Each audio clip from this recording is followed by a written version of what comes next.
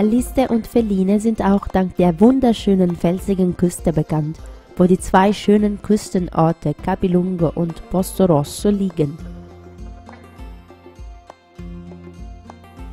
Posto Rosso, das heißt Roter Platz, stellt eine Perle der salentinischen ionischen Küste dar und wurde vermutlich für die typische rote Verfärbung einiger Punkte der Klippen so genannt.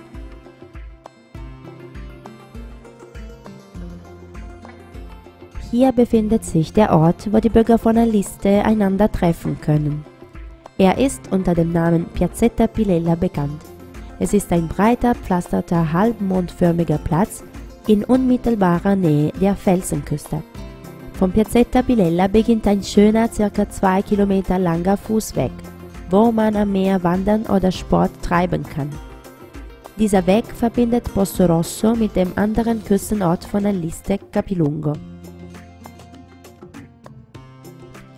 Capilungo, auch ein Küstenort, ist heute ein beliebtes Reiseziel dank der Ruhe des Ortes und der Klarheit seines Meeres. Die Küste ist morphologisch sehr gezackt und flach. Viele Zugänge ermöglichen trotz der Felsen das Baden. Hier lässt es sich herrlich im wunderschönen, felsigen, kristallklaren Wasser schnorcheln.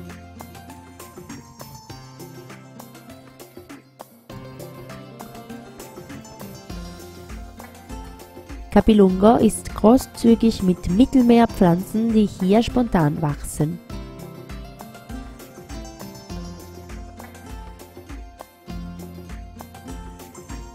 Dies alles erlaubt den Touristen des Küstenorts von Aliste ein wunderschönes Panorama zu genießen und die jodhaltige Meeresluft zu riechen, während man mit der Natur verbunden ist.